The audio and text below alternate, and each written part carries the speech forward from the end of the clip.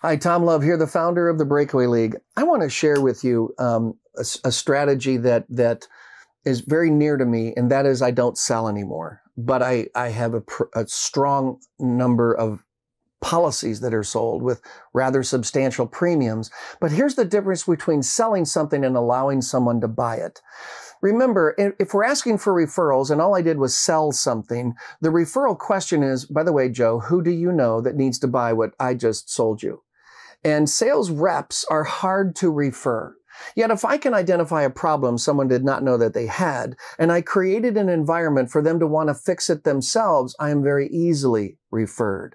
I no longer sell, I educate, and I create an environment conducive for people to want to take advantage of what is available to every United States taxpaying citizen on how to minimize their income tax burden or avoid it completely.